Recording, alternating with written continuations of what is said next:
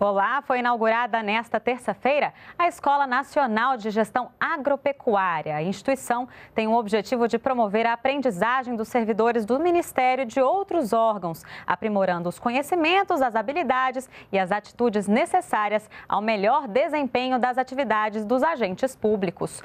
O evento contou com a presença da presidenta Dilma Rousseff e da ministra da Agricultura, Pecuária e Abastecimento, Cátia Abreu. Veja como foi. É um prazer, uma alegria, uma emoção muito grande este nosso evento. Acho que de todas as ações ao longo desses seis, sete meses no Ministério da Agricultura, talvez essa seja, seja a oportunidade, o evento que mais tenha me emocionado é, sem querer menosprezar os demais, que foram muito importantes, como o Plano Nacional de Defesa, o nosso Plano Safra, mas escola, educação é algo que nós temos que cultivar. E o Brasil, como nosso lema, a pátria educadora, o Ministério da Agricultura vem contribuir com esse desejo, com essa obstinação da presidente Dilma em fazer do Brasil inteiro a pátria educadora. Quero cumprimentar os colegas ministros, Isabela Teixeira, do Meio Ambiente, querida amiga e parceira, os sindicatos. Quero cumprimentar o ministro Renato, da Educação, agradecer aos dois pela presença, a nossa diretora da Escola Nacional de Gestão Agropecuária, Ângela Pérez, que é servidora federal, é, do quadro do Ministério da Agricultura e que, junto com outros, com outros servidores, construíram a nossa escola. Os próprios servidores participaram é, desta construção, que tem muito ainda a ser aprimorado. Por isso, eu quero também agradecer, senhora presidente, a ANFA sindical, que é o Maurício Rodrigues, presidente da ANFA sindical, a Azteca, a Rufina Mara, Ele, Mara Malenha Rodrigues, a Antefa, quero cumprimentar o Laudelino Duarte Rita, e a ANSA, o Celso Cordeiro, a Asfagro, João Bosco Siqueira Silva. São todas as entidades sindicais, associações que representam todos os servidores do Ministério da Agricultura, e eu cumprimento, através dos sindicatos, todos os servidores. Os 11 mil servidores espalhados por todo o país que servem o agronegócio brasileiro todos os dias. Senhoras e senhores, senhora presidente, a inauguração dessa escola de gestão do Ministério da Agricultura e Pecuária e Abastecimento é a concretização de um sonho, longamente acalentado por quantos se empenham em ver esse setor, que é o mais dinâmico de nossa economia, cada vez mais próspero e consolidado o salto qualitativo de nossa produção rural, que é hoje uma das mais sofisticadas do planeta, decorre não apenas da exuberância da nossa natureza, mas, sobretudo, do investimento em ciência e tecnologia que há décadas vimos agregando, vemos agregando a esse patrimônio, principalmente através da Embrapa. Esta escola é mais uma etapa deste processo de investir maciçamente em inteligência e conhecimento, compromisso que a presidente Dilma Rousseff tem sabido honrar e aprofundar.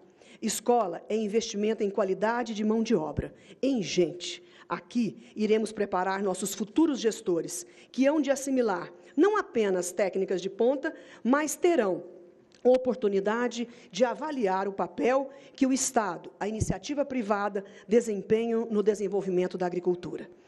O assim chamado declínio das ideologias, que marca esse nossos séculos, tem ensejado reflexões importantes que indicam que é possível e necessário estabelecer parceria entre ambos. A iniciativa privada precisa do Estado e o Estado precisa da iniciativa privada. O Estado é vital para garantir o investimento em pesquisa, em ações sanitárias e ambientais mediar as relações internacionais e favorecer a inclusão de mais produtores no processo produtivo. E a iniciativa privada precisa de liberdade para produzir. Sem liberdade não há produção, e sem produção não há ganhos sociais. Ou seja, liberdade e justiça social são valores indissociáveis. Até hoje, nenhum sistema político logrou desmentir esse princípio elementar. Só se erradica a pobreza com a geração de riqueza. E a agricultura no Brasil tem sido ferramenta fundamental neste processo. Minha presença no Ministério da Agricultura deve-se, sobretudo, à percepção que a presidente Dilma demonstra ter, ter dessa realidade. Ela tem garantido ao agronegócio as condições básicas para que continue a cumprir o papel exponencial que lhe cabe. Esta escola de gestão surge como mais um instrumento de avanço científico da agricultura e pecuária em nosso país. As escolas de agricultura sempre se destacaram no ambiente universitário brasileiro pela sua visão profissional e abertura para o mundo, recrutando profissionais pelo mérito, sem contágios ideológicos ou políticos, tendo em vista o nobre propósito de servir aos produtores rurais e, por meio deles, a população brasileira.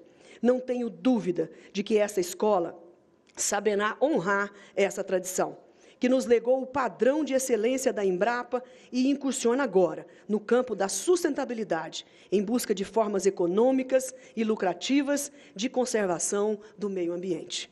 O Brasil precisa romper o mundo afora, todas as fronteiras. Temos o sétimo PIB do mundo, mas em exportações somos ainda o vigésimo país do mundo. Temos trabalhado duro para transformar este panorama com total apoio da presidente Dilma e de todo o governo brasileiro, articulando acordos de comércio, quer seja com a União Europeia, com os Estados Unidos, com a China e os países latino-americanos do Pacífico. O setor rural brasileiro acompanha com confiança essa movimentação do governo em prol da ampliação dos nossos mercados. Já o fizemos internamente abrindo novas fronteiras agrícolas em nosso território, de modo a integrar o pequeno produtor no processo econômico, estimulando a cooperação e fornecendo-lhes os meios para que atenda às exigências da produção. Não basta, porém, investir em ciência e tecnologia sem universalizá-las. Levá-las também aos pequenos e médios produtores. A disseminação do conhecimento é esta a missão dessa escola de gestão é vital para que o país cumpra sua vocação de celeiro da humanidade, justificando assim o exuberante patrimônio natural que possui. É um privilégio que temos, e o privilégio só se justifica como missão, tendo em vista o bem comum.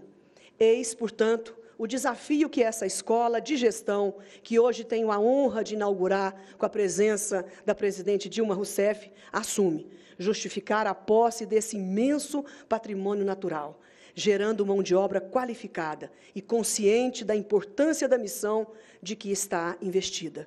É importante notar que esse trabalho é feito por um exército que sabe que ficará sempre no anonimato, mas neste caso, o anonimato é sinônimo de dever cumprido. Obrigado em nome do agronegócio brasileiro, a todos os nossos servidores do Ministério da Agricultura, Pecuária e Abastecimento. Muito obrigado.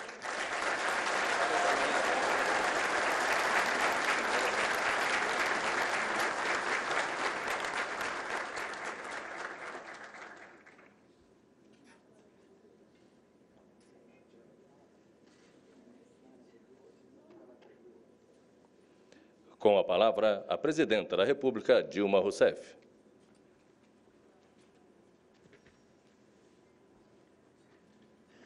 Boa noite a todos. Eu queria começar cumprimentando a ministra Cátia Abreu da Agricultura, Pecuária e Abastecimento. Cumprimento a Cátia Abreu, não protocolarmente, Cátia, mas eu te cumprimento porque essa, de fato, é uma iniciativa fundamental para o nosso país faz parte da pátria educadora, faz parte do reconhecimento da importância do agronegócio e faz parte também desse processo fantástico que é sermos capazes de transformar conhecimento em produção, emprego e renda para os nossos para a nossa população, para os nossos brasileiros e para as nossas brasileiras. Cumprimento também o ministro da Educação, Renato Janini, que prestigia essa solenidade, que dá a ela todo o reconhecimento que o sistema de educação formal desse país tem de dar a iniciativas como essa Escola Nacional de Gestão Agropecuária. Cumprimento a Isabela Teixeira, do Meio Ambiente, e é algo bastante significativo que a ministra do Meio Ambiente e a ministra do Mapa estejam juntas nessa cerimônia, porque mostra que nós somos um país que foi capaz de superar as chamadas diferenças fáceis. Nós só podemos ter diferenças difíceis e as fáceis nós superamos. Acredito que o Código Florestal mostrou que é possível perfeitamente produzir e conservar. E acho que é esse o nosso diferencial que torna esse país uma das fronteiras, aí não fronteira agrícola, mas fronteira, eu acredito, do conhecimento e da sustentabilidade. Cumprimento também o presidente da Conab, o Rubens Rodrigues dos Santos. Cumprimento a Ângela Pérez, diretora da Escola Nacional de Gestão Agropecuária, e desejo a ela muito trabalho. Cumprimento aqui também todos os sindicatos aqui presentes, todas as associações do setor agrícola e pecuário e cumprimento. E ao cumprimentá-los, eu queria destacar a presença aqui do nosso Martins, que representa a CNA. Cumprimento os alunos e professores da Inagro. Queria dirigir um cumprimento especial aos servidores do MAPA. Os servidores do MAPA representam o funcionalismo público do nosso país, o servidor público, aquele que tem por obrigação servir a população do nosso país. Muitas vezes com dificuldades, outras sem condições, outras sem valorização. Daí porque essa iniciativa, ela marca um momento especial e, e acredito, ministra Cátia Abreu, que a senhora ficará como uma das pessoas que modificou de forma profunda a agricultura do nosso país. Porque o que nós estamos fazendo aqui hoje tem um valor de curto prazo, mas, sobretudo, tem um valor de longo prazo. Sobretudo, ele molda e dá um descortínio diferenciado para os caminhos que nós vamos percorrer. E queria também cumprimentar os senhores jornalistas, fotógrafos e cinegrafistas. Eu vou começar a minha brevíssima intervenção dizendo, repetindo a frase que está escrita na placa que nós acabamos de inaugurar.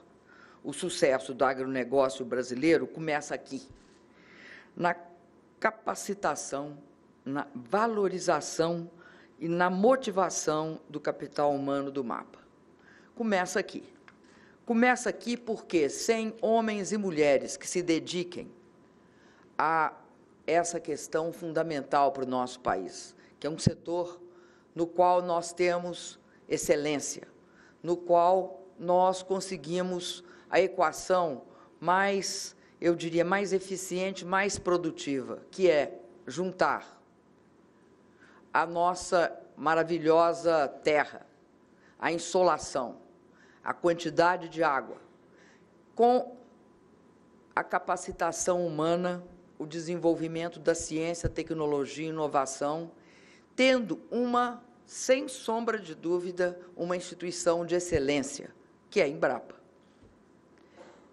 Acredito que aqui também uma outra Embrapa se inicia, a Embrapa da educação e da formação e da capacidade de gestão.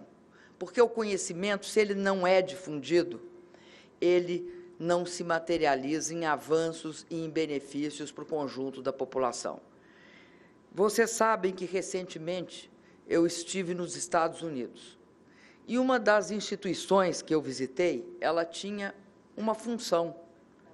A função que ela tinha era articular os, as pesquisas que as pesquisas básicas que se desenvolvem nas instituições é, públicas americanas, né, pela NASA, pela ARPA, pela DARPA, enfim, por todas as instituições de pesquisa básica, articular essas, essas pesquisas com o setor tecnológico e com o setor produtivo. E localizavam nessas articulações a maior dificuldade. Eu acredito que aqui nós damos mais um passo para melhorar essa articulação com a formação da Escola Nacional de Gestão nesta área tão estratégica para o país, que é esse setor, que conseguiu, de fato, mostrar que é possível que nós tenhamos uma agricultura de altíssima qualidade. Mas nós não nos contentamos com isso, não basta isso. Por isso, a Escola Nacional de Gestão Agropecuária, porque tem homens e mulheres que se preocupam com o futuro, que nós estamos aqui hoje. O Brasil é um país especial. Nós somos a sétima economia do mundo. Hoje, nós enfrentamos dificuldades, todo mundo aqui nessa sala sabe disso. Inclusive, sabemos também que outros países do mundo enfrentam dificuldades. Ninguém imaginava, alguns anos atrás, nem mesmo há um ano atrás, que nós teríamos a China enfrentando também seus problemas. Ninguém imaginaria que esta é uma situação que diferencia o Brasil dos outros países. Por que ninguém imaginaria isso? Porque o Brasil, até então, tinha tido um desempenho fantástico. Nós tínhamos conseguido superar os seis anos de crise, recorrendo a um conjunto de políticas. Hoje, nós não temos mais como dar suporte a tudo que fizemos. Desoneramos, desoneramos a folha de, de, dos, das empresas, desoneramos a cesta básica, desoneramos uma série de investimentos produtivos, principalmente investimentos.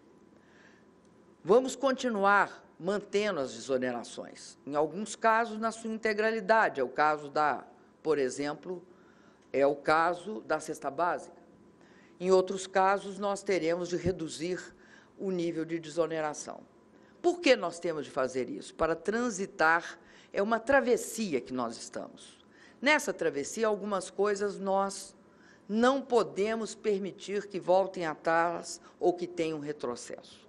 Dentro disso está o agronegócio. Este agronegócio que deu tantos ganhos para o nosso país. É por isso que nós aumentamos, mesmo no momento de dificuldades, em 20% os recursos de financiamento e para as políticas do Plano Safra.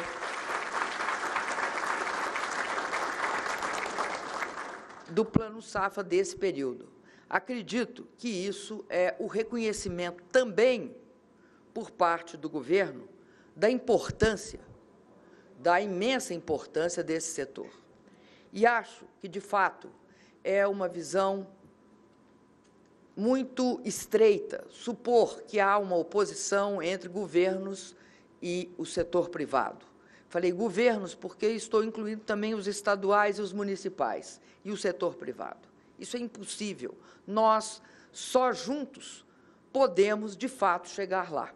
Só juntos nós conseguiremos, unindo o que tiver de melhor em cada um, chegar a uma, a uma nação que seja uma nação que, pelo menos, no mínimo, seja uma nação de classe média.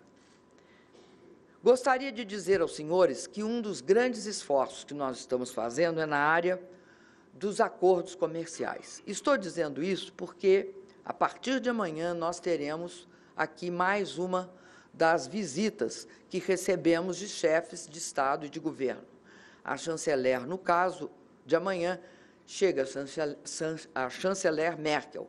E nós pretendemos sinalizar que o Brasil está disposto, está pronto para apresentar a sua oferta de acordo comercial, o que também irá beneficiar bastante o setor industrial e, sobretudo, o setor agrícola e pecuário do nosso país. Eu sei que, além dessa, dessa escola, desse fantástico, dessa fantástica conquista. Uma outra conquista tem sido característica da atividade da ministra Cátia Abreu. São os acordos comerciais, muito bem sucedidos, que nós temos conseguido fazer neste momento em que temos uma competitividade ainda maior não só a competitividade normal do agronegócio, mas ainda o benefício de uma taxa de câmbio agora muito mais adequada às nossas exportações. Por isso, eu mais uma vez cumprimento, queria cumprimentar a Ângela e queria cumprimentar a Kátia. São duas mulheres que têm agora a missão de transformar a pátria educadora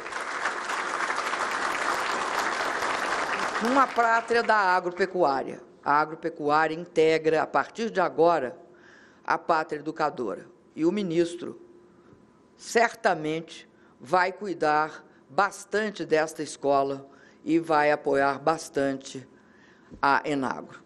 Parabéns, Kátia, parabéns, Ângela, parabéns todos os funcionários aqui do MAPA e parabéns todos os empresários aqui do agronegócio com suas associações e tenho certeza que a partir de, daqui nós estamos também construindo um Brasil melhor, um Brasil de futuro. Muito obrigada. Você acompanhou a cerimônia de inauguração da Escola Nacional de Gestão Agropecuária, que pode beneficiar até 11 mil servidores públicos. E você continua com a gente aqui na NBR, a TV do Governo Federal.